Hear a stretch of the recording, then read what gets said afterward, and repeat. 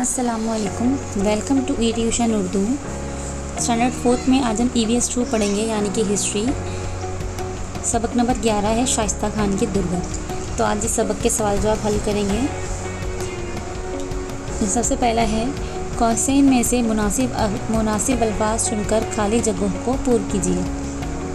तो पहली खाना पूरी है, शाइस्ता खान ने डैश के किले का मुहासरा कर लिया. यहाँ तीन ऑप्शन है, पुरंदर, पन्हाला और शिवनेली। तो इसका जवाब होगा पुरंदर। दूसरा है, शाइस्ता खान ने पूना में डैश डैश में क़याम किया।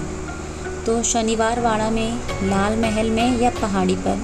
तो इसका जवाब होगा लाल महल में। शाइस्ता खान ने पूना में लाल महल में क़याम किया।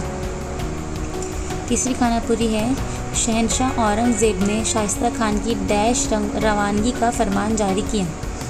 ऑप्शन है आसाम, कर्नाटक और बंगाल। तो इसमें जवाब होगा बंगाल। शहनशाह औरंगज़ेब ने शाइस्ता खान की बंगाल रवानगी का फरमान जारी किया। यहाँ पर खाना पूरी हो गई है। सवाल नंबर दो है, हर सवाल का जवाब एक जुमले में लिखिए। पहला सवाल है, शाइस्ता खान ने किन मकामात को फतह करते हुए पूना की तरफ़ पेश कदमी की। जवाब देख लेंगे। शाइस्ता खान ने शिरोल, शिवापुर और सासवड़ पर कब्ज़ा जमाते हुए पेशकदमी की।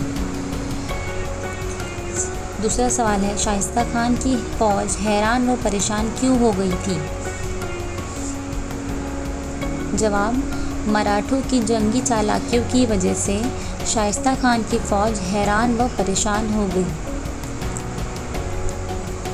सवाल नंबर तीन है, शाइस्ता खान के दिल में किस बात का खौफ बैठ गया? जवाब है, आज उंगलियाँ कटी है, कल शिवाजी उनके जिस्म को काट डालेगा, इस बात का खौफ बैठ गया। एक जुमले के सवाल जवाब हो गए। अब सवाल नंबर तीन है, वजूहत लिखिए। पहला है, शहनशाह औरंगज़ेब को शिवाजी महाराज पर गुस्सा क्यों आया? तो हमको वजह बतानी है क्यों आया?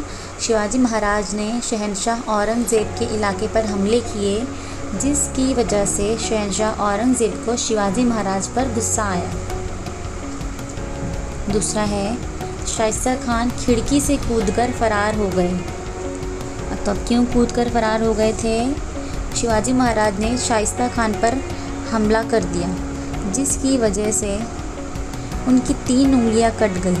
इसीलिए शाइस्ता खान अपनी जान बचाने के लिए खिड़की से कूदकर फरार हो गए। तो ये थे ई वी एस टू के ग्यारहवें सब के सवाल जवाब, जो इस वीडियो में हमने देख लिए हैं। वीडियो पसंद आई हो तो वीडियो को लाइक करें, मेरे चैनल को सब्सक्राइब करें और शेयर करें। फिर मिलेंगे अगली वीडियो में, तब तक के लिए खुदा हाफिज़।